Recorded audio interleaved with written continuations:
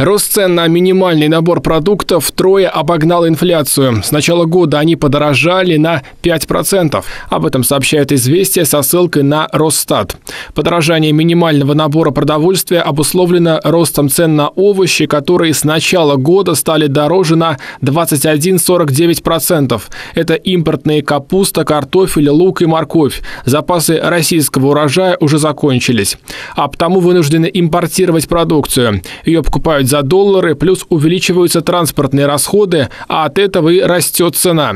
И добавлю, в минимальный набор продуктов, стоимость которого на человека в месяц рассчитывает Росстат, входят мясо, рыба, яйца, молочные продукты, хлеб, овощи, яблоки, крупы, чай, сладости, сахар и соль. Всего 33 наименования продуктов.